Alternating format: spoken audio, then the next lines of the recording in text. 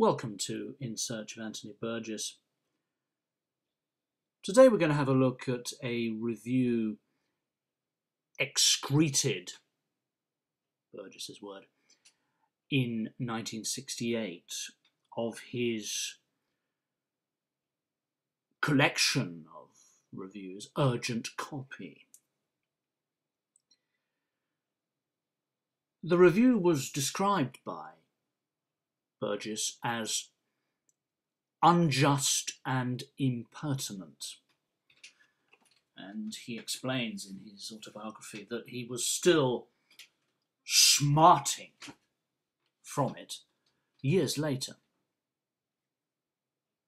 The offending review, it's a very short one, goes like this. Here are a few extracts on collecting one's reviews. Mr. Anthony Burgess has collected his reviews. Of this I do not complain altogether, things being what they are. Yet dog proceeding to eat dog, I shall ask, how does one review reviews? These fair samples bring about a third of the way through.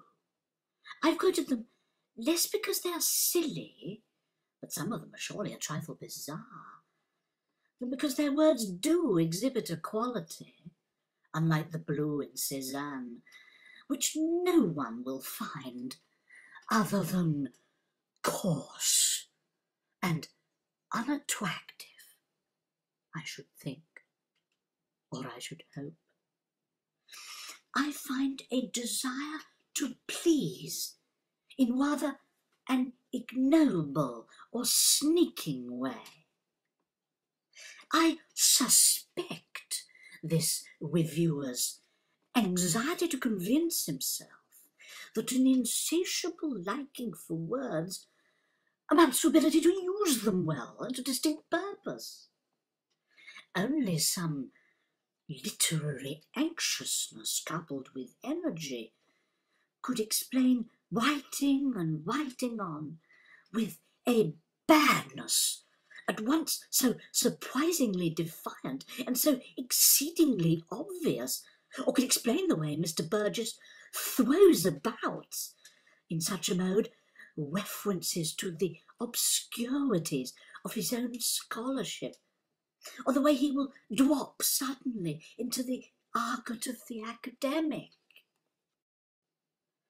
I like the reviews I read, if this is not being too idiosyncratic for our day. Less shaggy and loud, and less in the public bar